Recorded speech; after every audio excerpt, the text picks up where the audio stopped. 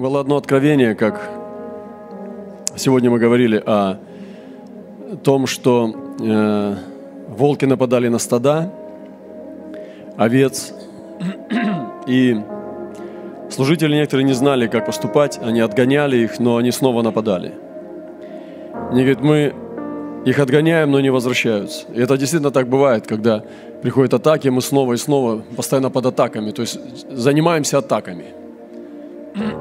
Это тоже ну, правильно, потому что ты не можешь смотреть, как волки дерут овцу и не заниматься этим. И Давид догонял медведя, льва, раздирал, и ну, он реагировал на атаки. Но есть другой уровень. И там было написано, что было показано, что Дух Христов говорит, что не воинством и силой, но духом, дыханием Бога.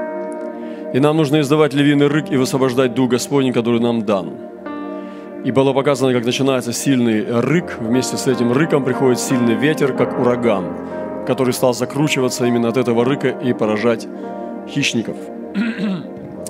Я думаю, что дело не, не в крике, а дело в духе.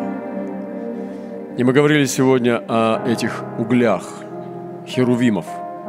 Мы говорили об этом угле, который просто один из угольков Господа Бога, наше солнце.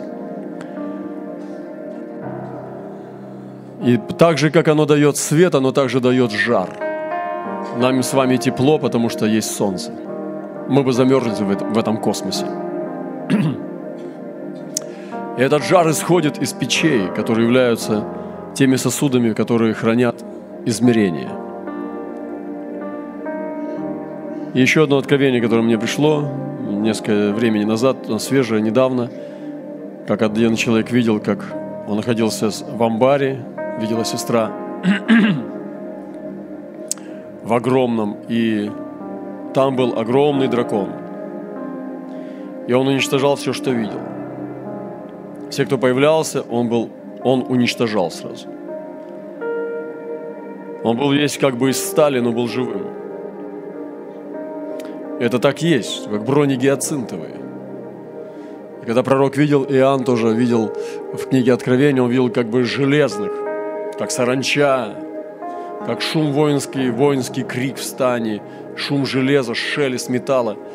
И пророк может видеть, что он вроде бы как железный, но он живой.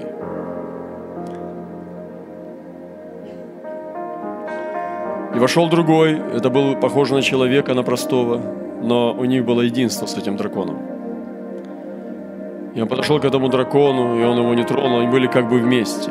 Я не буду входить в детали, но они не боялись друг друга, были как одно.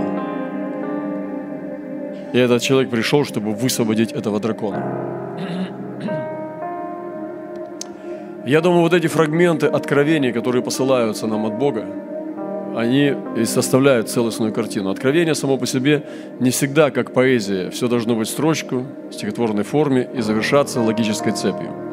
Когда мы читаем книгу Откровения, мы так не видим. Апостол Иоанн видел совсем по-другому. Он видел фрагментами, причем не в хронологическом порядке. Если мы будем прослеживать хронологию в книге Откровения, мы запутаемся. Это просто есть, потому что Бог вне времени. И Бог открывает церкви определенные вещи, которые, на которые она должна реагировать и следовать за Богом в послушании. Я думаю, что эти два разных человека, находящиеся в тысячи километров друг от друга, один видел дракона лжепророком, потому что дракону нужен лжепророк.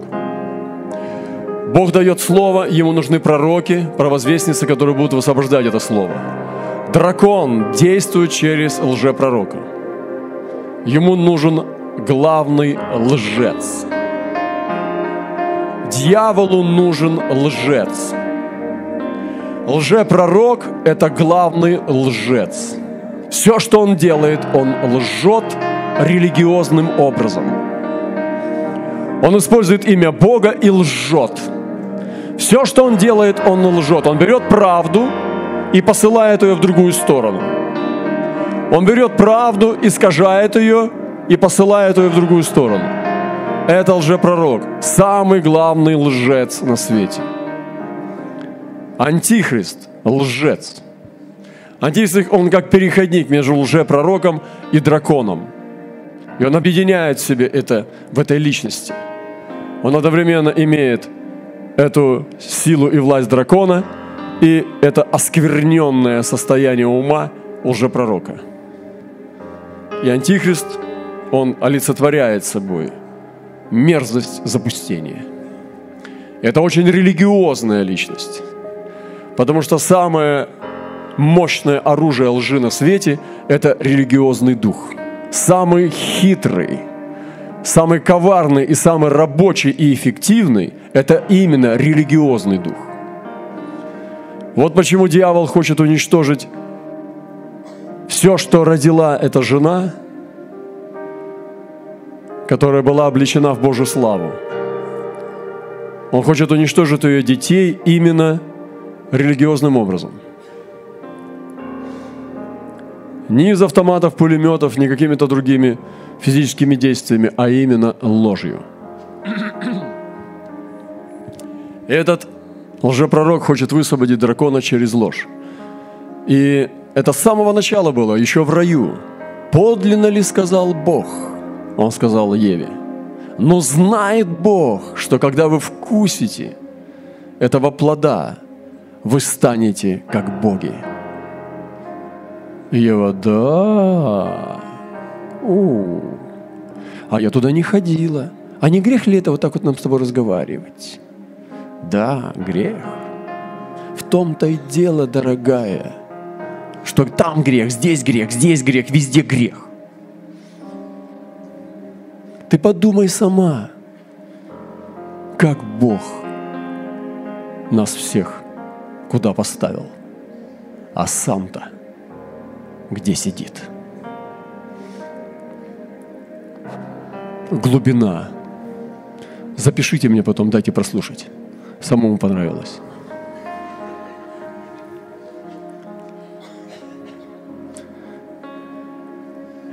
Евушка, Евушка, послушала дракошку. Глупо девица, раскрасавица, протянула ручку свою, взяла плод и вкусила. Пошла к этому своему любимому Адаму и дала ему горемычному. И вкусил Адам, и исполнились скорбушки вселенской. Вы думаете, что-нибудь новое? Нет. Все то же самое. И сегодня истина в огне обжигает уста опаленных пророков, которые прячут и они хотят, покажи, что там под ладонью. А под ладонью только одно. Так говорит Господь. Исайя, ну мы с тобой гуляли на одной улице. Так говорит Господь. Исайя, ну ты помнишь, мы с одного рецентра. Так говорит Господь. Вы понимаете, все, опаленные уста. Это привязано, это прибито. Расскажу вам историю. Есть каноническая, неканоническая Библия. Ну, канон признал, значит, они там размышляли, какую книгу принять, какую не принять. И несколько глав Даниила они оставили в Библии, одну главу там, или две не оставили.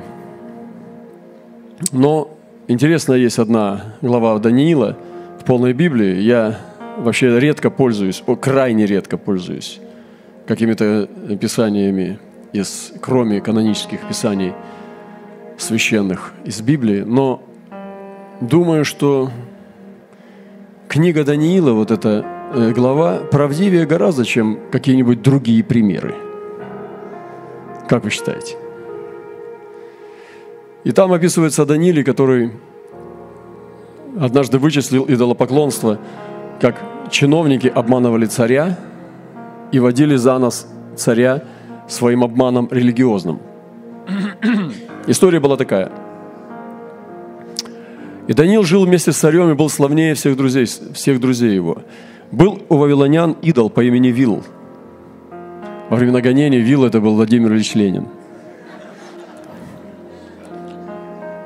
Вавилон – это СССР, а Вил – это Владимир Ильич Ленин. Пал Вил. А что вы смеетесь? Так и есть? Не знаю, но я так не говорил.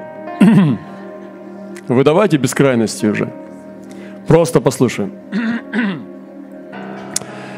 Был у вавилонян идол по имени Вил. И сдерживали на него каждый день 20 больших мер пшеничной муки, 40 овец и вина, 6 мер. Ну, сколько стоят памятники вот эти, если сейчас собрать их там тысячи, сотни тысяч.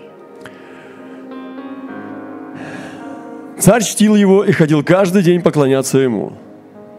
А что у нас там, не поклоняются, нет? Что там на Красной площади у нас стоит?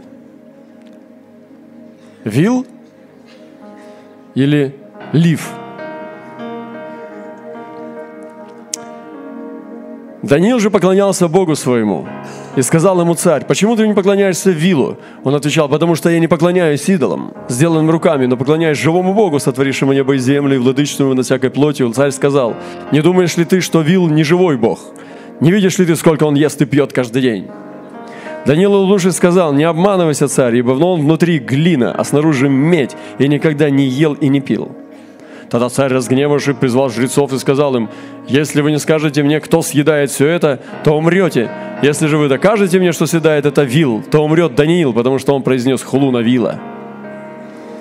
И сказал Даниил царю, «Да будет по слову твоему, вы смеетесь, а во времена вот, э, Советского Союза так оно было, все точно так и было. На Вила нельзя было ничего говорить. Вон э, э, Виктор рассказывал Белых, как он там сидел со стариком, который Э, портрет Ленина, что ли, с газетой там, или как, подстелил под канарейку там, ну, птичка там своими делами позанималась. Дали ему большой срок. Вот тебе вил. И пришел царь с Данилом в храм. А, ну они сделали как? И Данил сказал, хорошо, я подсыплю там муки. То есть только запечатайте и больше не раскрывайте. И он подсыпал тихо муки. В этом, там еду ложили, то, значит, вил стоит – вот так. Так и стоял.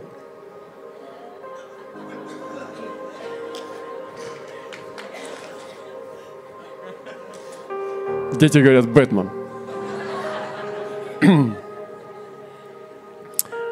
Стоит Вилл, вечно молодой.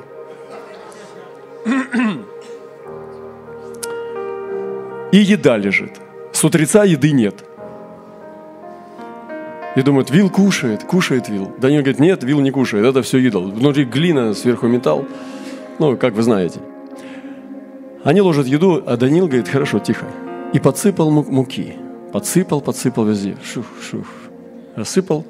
Никто не видел это, все было темно. И запечатал печать, говорит, царь, печать не снимай. Пришел царь с Данилом в храм Вила, и сказали жрецы Вила, вот мы выйдем вон, а ты, царь, поставь пищу и налив вина, запри двери, запечатай перстнем твоим. Если завтра ты придешь и не найдешь, что все съедено Вила, мы умрем. Или Даниил, который солгал на нас. Они не обращали на это внимания, потому что под столом съедали потаенный, сделали потаенный вход. Прям под столом. Ну вообще, ну такая просто примитивная наглость.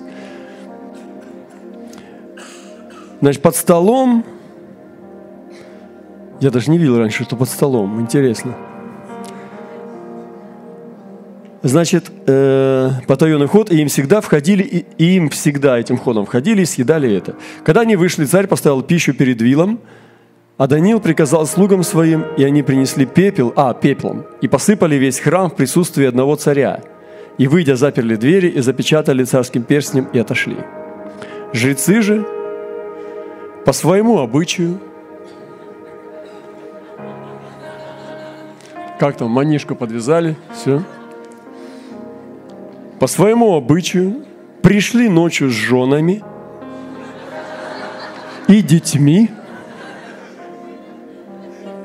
Вот уверенность у них была, да? С детьми. А дети уже просто уже за шоколадками. И все съели и выпили – вот беззаконники. Вообще, фу, отвратительно-то как. Кошмар. Ну не лезь в чужой холодильник. Вы знаете, у дьявола всегда есть скелет в шкафу. И у структуры тьмы тоже. Черные двери врага – это слабые места сатаны. И мы должны найти эти слабые места. Но я сначала прочитал, что помазанник продолжает поклоняться Богу во все времена. И Даниил был в высоте, в социуме, он был помазанником. И идеология государственная потребляла много материальных средств на религию. Где-то мы это уже слышали. Много средств уходит на государственную религию – из карманов налогоплательщиков тоже. Вы здесь сегодня? Ох, как много средств уходит на государственную религию. И Вил поедал, они знали, сколько тонн он съедает каждый день. Ну, в смысле, каждый месяц. Вы здесь, нет? Еще не злитесь? Вообще-то веселее и веселее, по-моему, все становится. Значит, царь чтил его и ходил каждый день поклоняться ему.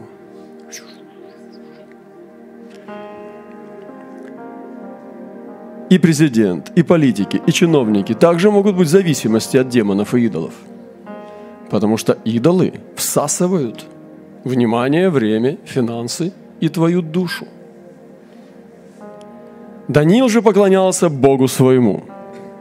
Помазанник продолжает поклоняться Богу во всякие времена, неважно. И сказал ему царь, почему ты не поклоняешься Вилу? Это естественный вопрос правительства.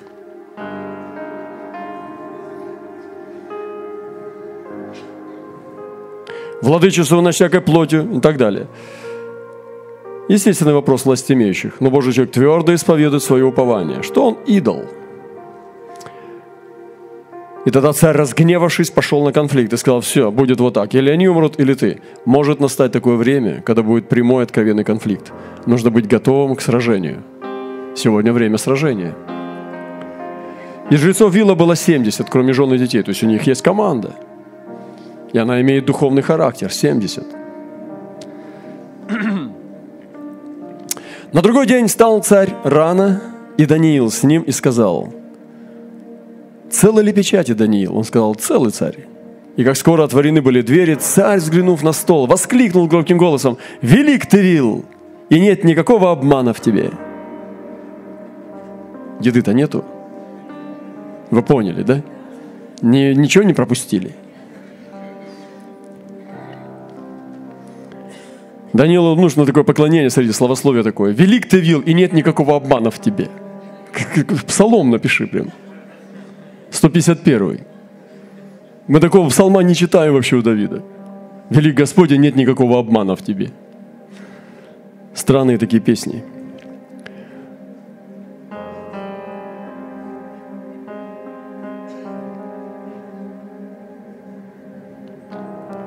Даниил, улыбнувшись, удержал царя, чтобы он не входил внутрь и сказал, посмотри на пол и заметь, чьи это следы. Царь сказал, вижу следы мужчин, женщин и детей. Глубина. Вот разговор в парламенте. Это главный храм страны. Поняли? С цокольным этажом.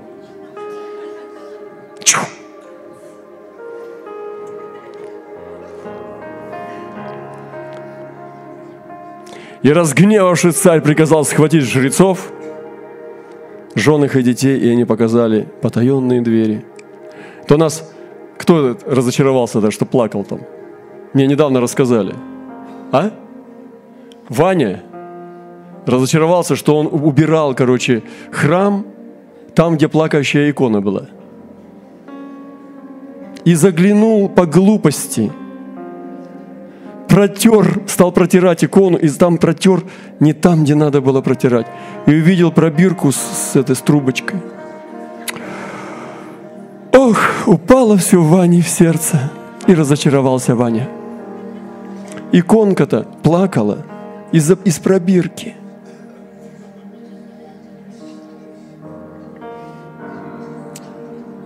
Кораблекрушение в вере. Потерпел человече. Сильно огорчился Ваня и пошел скорбеть.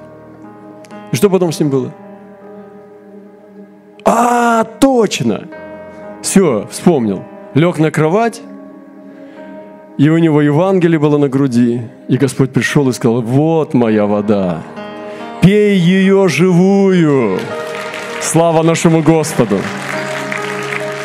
И Ваня согрелся Божьей благодатью.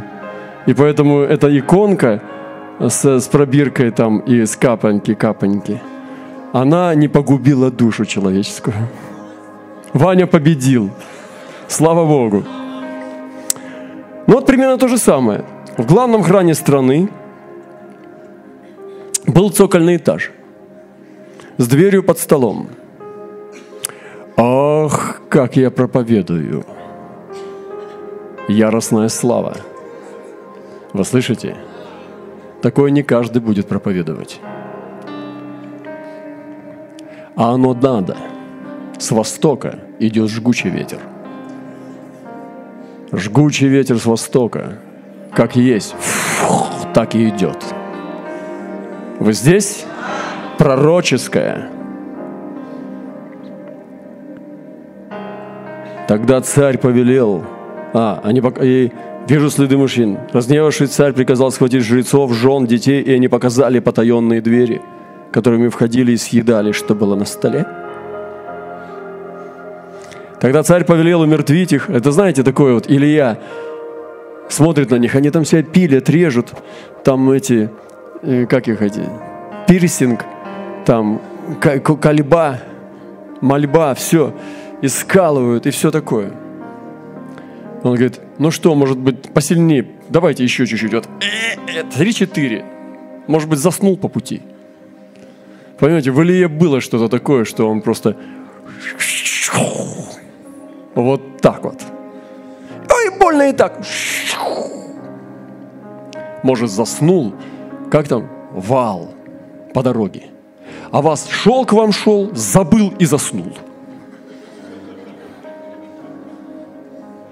Или я тоже шутник. Молодец, брат. Слава Богу за Илью. Не шутник, а истинный пророк.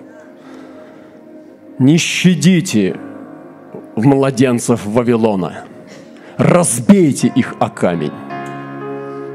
Возьми младенцев Вавилона и разбей их о камень.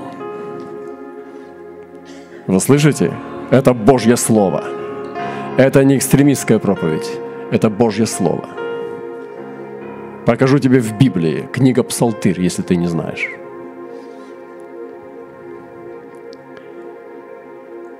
Фу. Это Библия. Вил. Ну куда уже дальше, куда уже точнее? Но давайте уже как-то думать, чтобы все-таки ну, кладбище не делать с этой страны. Вот уже прям конкретно уже проповедуется в Владивостоке э, из Библии.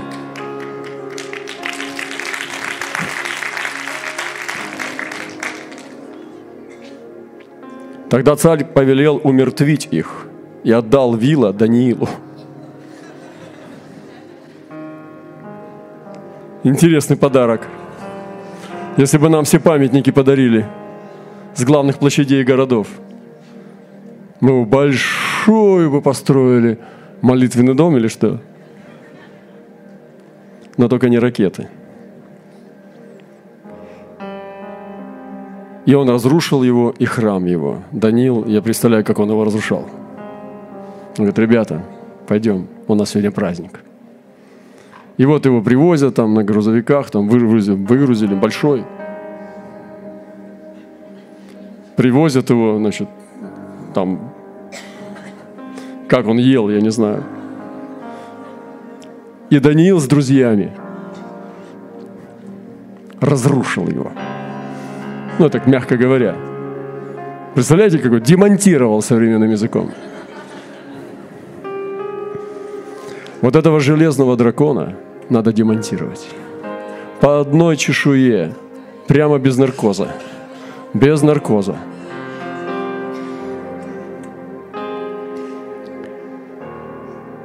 Когда упадут башни, говорит Господь. Башни упадут. Идолы, братья и сестры, идолы упадут. Упадут идолы. И в этой стране идолы упадут. Упадут и никуда не денутся. И вилла упадет. Аминь. И уже падает. И мы высвобождаем сегодня здесь это слово что падает вил, и мы говорим, пал, пал вил. Аминь. И будет возмездие за ложное поклонение. Ну хорошо, первая серия прошла. Это уже пророк, Вил. Вы знаете, что он адаптировал марксизм-ленинизм э, к практической ситуации. Ой, простите, марксизм адаптировал капитал Маркса, ввел в практику. Потому там была теория – а он его ввел. И называется это уже было, называлось уже не марксизм, а ленинизм. Марксизм – это идея, ленинизм – это уже социалистическая э, практика жизни. Но был на том месте еще кое-кто. Большой дракон. Мы разобрались с этим человечком, которым с ним одно. Идем дальше. Вы здесь? Смотрите, где мы ходим. Смотрите, куда мы двинулись. И там был еще кое-кто. Там, на том месте, был большой дракон. Смотрите, до Даниила все это цвело. Все это обложено мерзостями. И Даниила Бог поставил туда, чтобы разобраться с этой очисткой. И вавилоняне чтили его. Просто дракона, представляете? И сказал царь Даниилу, вообще-то не китайцы даже изобрели дракона, видите? И сказал царь Даниилу, не скажешь ли и об этом, что он медь? Царь, видите, какой непреклонный. Такой не слабый царь. Вила ему недостаточно. Вот он живой и ест и пьет. Вот у них все с едой и с питьем связано. Но сколько уже можно есть и пить? Вот он живой и ест и пьет. Ты не можешь сказать, что этот Бог не живой. И так поклонись ему. Даниил сказал, Господу Богу моему поклоняюсь, потому что Он Бог живой. Но ты, царь, дай мне позволение, и я умерщвлю дракона без меча и жезла. Так вообще легко проповедовать, когда ты первый раз проповедуешь, и вы не знаете, о чем будет дальше речь. Я столько раз давал задание полную Библию прочитать, хотя бы чтобы знать историю Маковеев.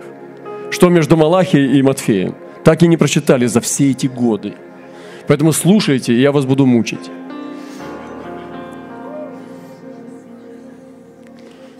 Я чувствую, что вообще здесь никто не читал эту историю. Но только где-то 3-4 человека. Серьезно. Ладно, следующая серия, следующее воскресенье. Даниил сказал, Господу Богу мою поклоняюсь, потому что Он Бог живой. Но ты, царь, дай мне позволение, и я умешлю дракона без меча и жезла. Царь сказал, даю тебе. Тогда Даниил взял и смотри, что он взял. Но вы думаете, что сейчас драконом будет гораздо сложнее. Я вас понимаю. Но он же пророк уничтожен. И иногда мы думаем, с дракона надо начинать. А надо зайти со стороны тутовых деревьев. Разоблачить ложь в святилище и высвободить дальше. И пойдет движение. И тогда Даниил взял что взял? Смолы,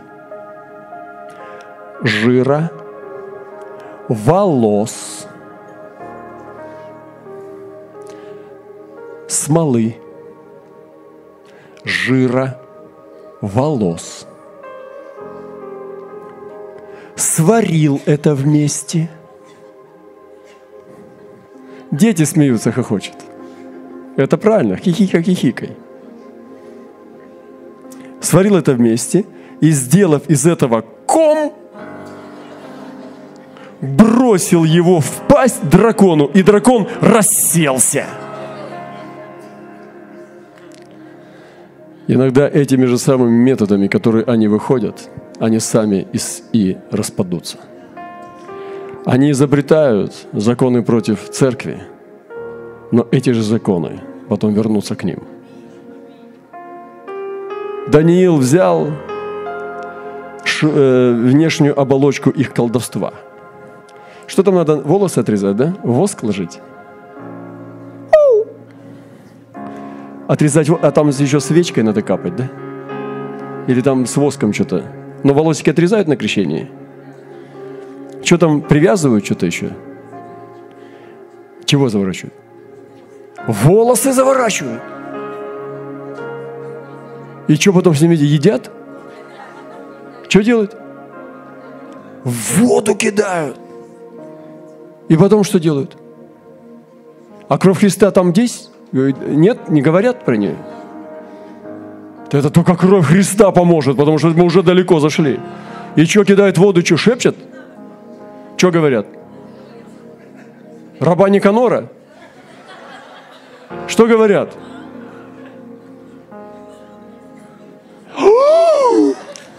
Всплыли, то значит что? Жить будет. А если потону, это где? В храме страны? А если потонули?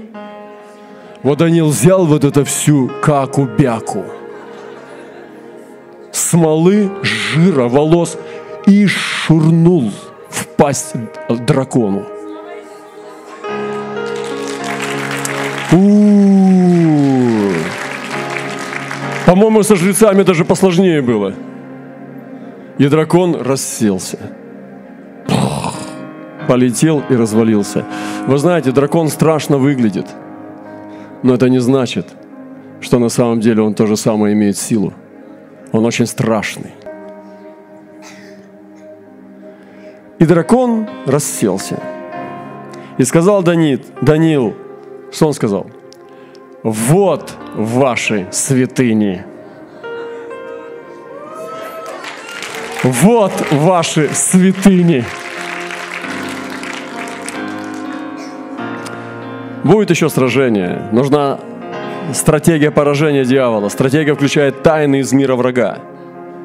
Тайны из мира врага. Стратегия будет включать тайны из мира врага. Запомните, что я говорю. И эти колдовские вещи, они обнаруживают духовную суть. И мы фиксируем это. И тайны из мира врага будут этим кляпом, который закроет ему рот. И рассядется. Когда же вавилоняне услышали о том, сильно вознегодовали и восстали против царя. Такая дырка на площади. Что теперь делать с этим черным пятном? Снова где такую брусчатку достать, такого же цвета? А что с этими всеми памятниками делать? За ним же там прямо Иосиф стоит.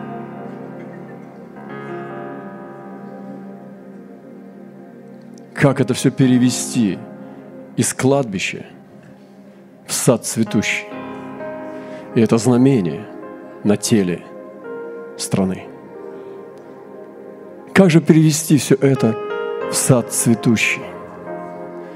Через духовную битву, через духовную брань. И даже если придется пострадать за эти все вещи, мы должны быть готовы к этому, потому что обратной дороги нет – Потому что Бог поставил нас, чтобы нести Слово. И ты не можешь придумать человеческое Слово и делать прорывы. Ты должен высвобождать только Божье Слово.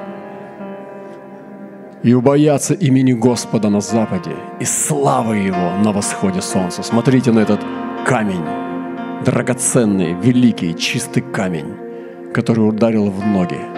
Мы сейчас в этих ногах – но это неправда. Мы в этом камне. Слава Богу. Когда вилоняне услышали, сильно вознегодовали, восстали против царя. Вы слышите, царь тоже их боится. Царь подвластен чиновникам. Он не главная власть в стране. Они сказали, царь сделался иудеем, вилла разрушил, убил дракона. Видите, обвинение. Сделался иудеем. Вилла, сектантом стал. Сектантом потворствуешь. Забыл, кто такие сектанты? Сделался иудеем. Вилла разрушил. Убил дракона. И предал смерти жрецов. Четыре преступления вменили. Четыре статьи.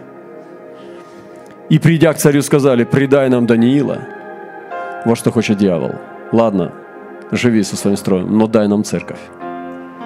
Предай нам Даниила, иначе мы умертвим тебя и дом твой. И когда царь увидел, что они сильно настаивают, принужден был предать им Даниила, как Понтий Пилат. Они же бросили его в ров львиный, и он пробыл там шесть дней. Эти сезоны пребывания в львином рву. И мы сегодня, возможно, что в одном из этих дней. Может быть, в пятом или в шестом. Это сезоны. 5, 7, 7, 8. Во рве было семь львов. И давалось им каждый день по два тела и по две овцы. В это время им не давали их, чтобы они съели Даниила –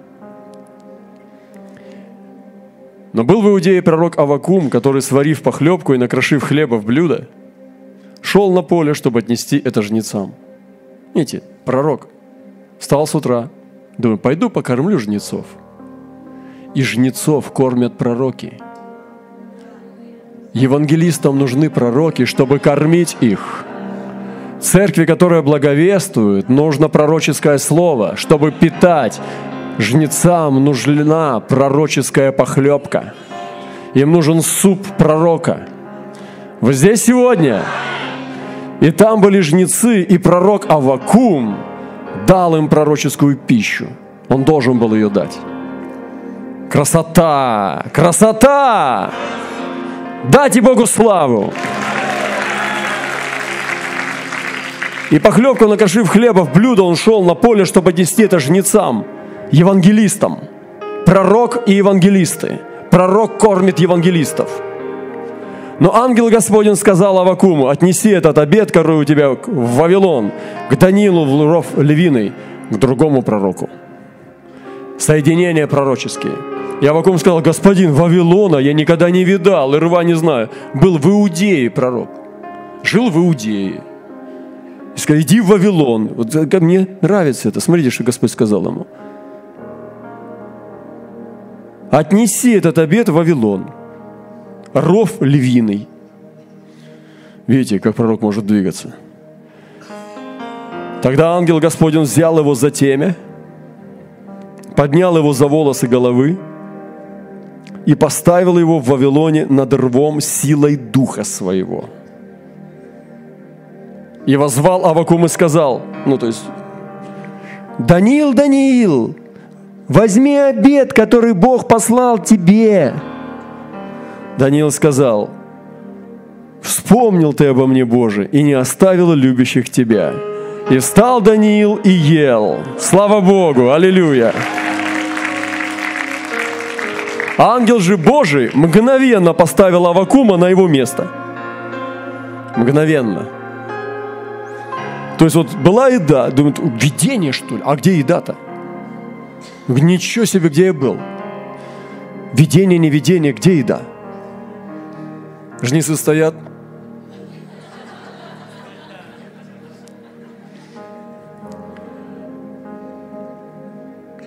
Господь, верни эти снова эти вещи в церковь. Верни эти чудеса в церковь. Верни эту способность так двигаться в церковь. У Бога есть стратегия. Бог использует своего человека для избавления и прорыва. Нам нужны эти пророки прорывов. Он принес прорыв Даниилу. И, конечно, львы смотрели, как Даниил кушает. Спасатель может быть из дальней стороны вообще-то. Вы понимаете? Спасатель может быть и внезапно, с дальней стороны, может быть непонятен, и он придет не с пустыми руками. И в заключение. В седьмой день пришел царь, чтобы поскорбеть о Данииле – и, подойдя к рву, взглянул в него, и вот Даниил сидел. И воскликнул царь громким голосом и сказал, «Велик ты, Гос, Господь Бог Даниилов, и нет иного, кроме тебя. Вот это надо высвобождать, чтобы цари, президенты, чиновники увидели реальные проявления Божьей славы, не через религиозные духи и поклонения в традициях, потому что легче всего религию двигать, а чтобы увидели живого Бога. И приказал вынуть Данила и виновников его погубления бросить в ров, и они тотчас были съедены в присутствии его. И окончательная погибель врага и его нечестия. Это был Божий промысел для премудрого сокрушения врага и вражьей силы.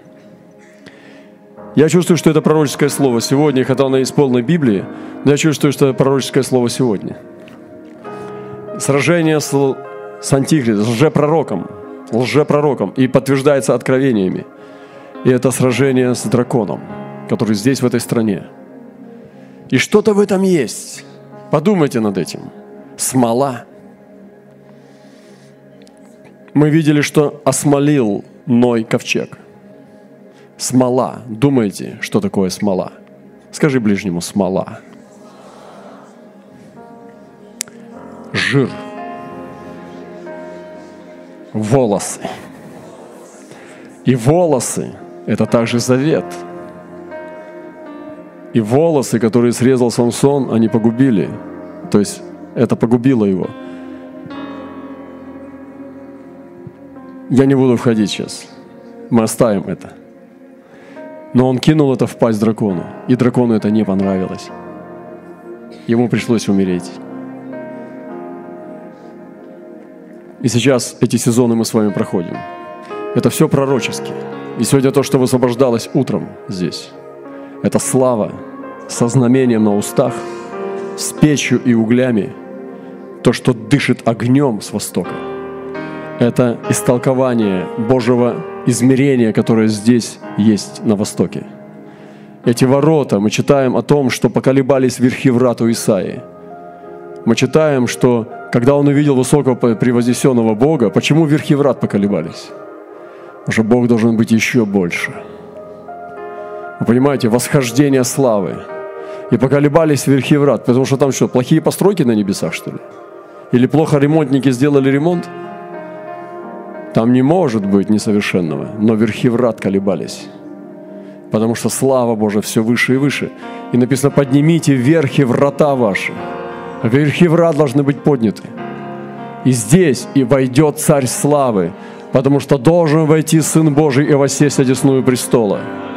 И поэтому должны были поколебаться верхи врат для Иисуса, потому что Иисус должен был войти и сесть рядом на престоле.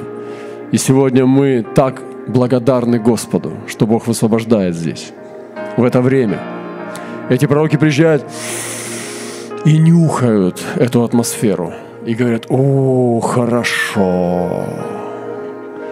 Был недавно э, муж, здесь был в этом месте, и ему нравилось здесь двигаться. Мне даже кажется, что он нигде так не проповедует, как здесь. И как Руслан говорит, они приезжают и начинают здесь шалить потому что не могут остановиться. Да?